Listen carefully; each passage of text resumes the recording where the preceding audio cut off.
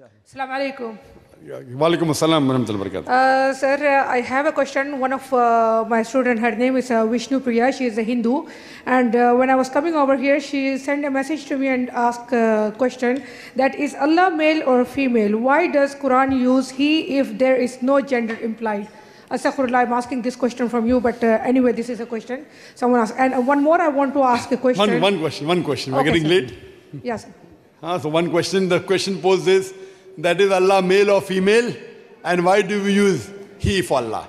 And this question troubled me for a long time. And I could not get the answer myself.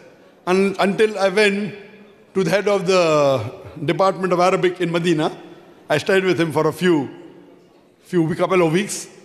And after learning Arabic little bit, I'm not sure, sure not much, then I came up with the answer and I checked up the answer with him and he was very happy. In Islam, Allah subhanahu wa ta'ala has got no gender. He's neither male, neither female. There's nothing like him. The moment you say male, that means similar to some male. If you say female, so he has no gender. But why in Arabic do we say Kul hu Allahu ahad? Say he is Allah one and only. Why do we use the word huwa? Huwa in Arabic means he. The reason is that in English we have three gender male, female, and neuter. In Arabic, we have only two genders male and female. And there are certain criteria for a gender to be gender to be female. For example, if it is feminine by nature, like ummu, uktu, it becomes female. Allah is not feminine by nature, correct? If it is pairs, ainun, Yadun, it becomes female. Allah is not pair. Qul ahad, Sayyid Allah one and only. Then there's another rule that if it has an alif in the ending, ah, it becomes feminine. Allah doesn't have that.